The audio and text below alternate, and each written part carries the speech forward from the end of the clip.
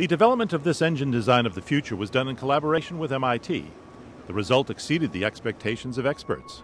Terzo Millennio resembles a space shuttle. The car will have an electric power unit where each wheel will be powered by an electric motor. The fuel will be provided by so called modern supercapacitors. Lamborghini design chief Mitja Borkert presented his model at a gathering of the high tech elite at MIT's annual EmTech conference. So for us, it is super exciting to combine Lamborghini as an innovative brand with the you know the young mind of the students, and for us that was an exciting motivation. Our mission is here, I think, done because I've seen already many many people have seen the car. Everybody was really excited. a lot of young people, and that was exactly our mission. One of the unique technologies in the concept model is a self healing body made of carbon fiber. It allows you to track body damage and create a repair system using nanotechnology. Chips and cracks are automatically filled with a special solution that tightens the defects. And this is only one of the surprises in the Lamborghini of the future.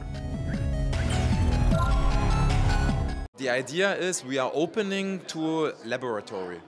So one is for uh, innovative materials. For example, when you look at the car, all the exterior shape is uh, a potential energy source of the future. So for example, there's the carbon fiber, and inside of the carbon fiber there's the nano tubes. Uh, so the exterior of the car could be an additional battery. So the, I think that's super exciting. The Lamborghini prototype demonstrated a number of revolutionary technologies. In the design of the power unit, supercapacitors, and blocks of electric energy accumulation are used to fuel the car. The new supercar operates four electric motors designed along with the battery for energy conservation under the hood.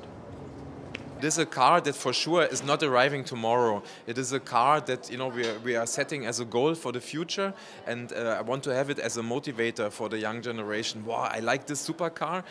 Terzo Millennio will not be available in auto showrooms for a few years but the new technology and innovative solutions will be gradually introduced in new Lamborghini models. For Evgeny Maslov, I'm Bob Leverone, VOA News.